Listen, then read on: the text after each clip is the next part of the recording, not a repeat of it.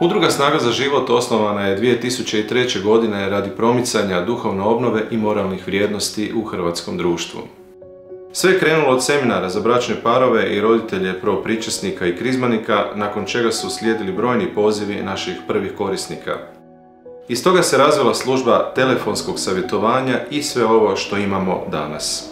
Naša vizija su projekti usmjereni prema pojedincima, bračnim parovima i obiteljima, kao što su savjetovanje, edukacija, duhovne obnove, seminari i konferencije. Sve to činimo s ciljem da dopremo do najranjivijih članova našega društva u njihovim egzistencijalno osjetljivim razdobljima života te potaknemo njihov duhovni rast.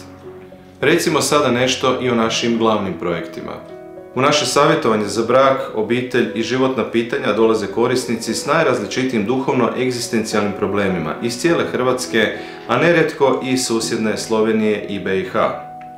Tečaj duhovnog rasta u trajanju od šest mjeseci smo pokrenuli za sve one koji žele uložiti u svoj duhovni rast i razvoj. Škola Petrus za pastoralne djelatnike traje četiri mjeseca, a do sada smo imali 130 polaznika u četiri generacije. Udruga Snaga za život godišnje organizira 30 javnih okupljenja kojima prisustuje oko 4000 osoba, a središnje događanje je Karizmatsko-ekumenska konferencija Karizma. Do sada smo surađivali s brojnim pojedincima i brojnim udrugama po cijeloj Hrvatskoj. Radujemo se i suradnji sa vama.